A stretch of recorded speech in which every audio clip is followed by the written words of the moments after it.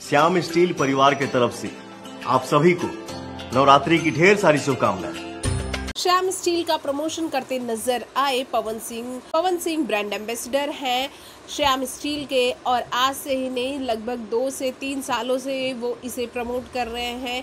आपको बता दें कि श्याम स्टील टीएमटी सरिया वाले पवन सिंह को यूपी बिहार का सबसे बड़ा चेहरा मानते हैं, इसलिए वो अपने ब्रांड के लिए पवन सिंह का ही चुनाव करते हैं हर बार। वैसे हम आपको बता दें कि पवन सिंह और भी कई ब्रांड का एंडोर्समेंट करते हैं।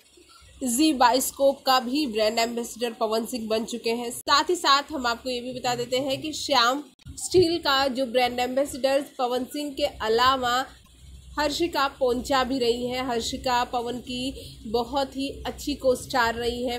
साथ ही हम आपको ये भी बताने वाले हैं कि पवन सिंह के जो नवरात्र के गीत हैं, वो सबसे ज़्यादा पंडालों में बज रहे हैं और पवन सिंह ने कई रिकॉर्ड इस नवरात्र भी कायम किया है। सबसे ज़्यादा हाईएस्ट व्यू पाने वाला दियरिया सॉन्ग जो है वो पवन सिंह का है, जो कि वर्ल्ड रिकॉर्ड भोजपुरी से रिलीज़ हुआ और गाँव के दशहरा का तो कहर आपने देखा ही ट्रेंडिंग और म्यूज़िक सेक्शन दोनों में ये बराबर का ट्रेंड कर रहा था सॉन्ग तो जो भी पवन सिंह के फ़ैन हैं, उनके लिए आगे आने वाली खुशखबरी ये है कि पवन जल्द ही बॉलीवुड सॉन्ग करते भी नज़र आएँगे। भोजपुरी जगत की हॉट और बस सालेदार गॉसिप के लिए हमें सब्सक्राइब करना बिल्कुल ना भूलिए।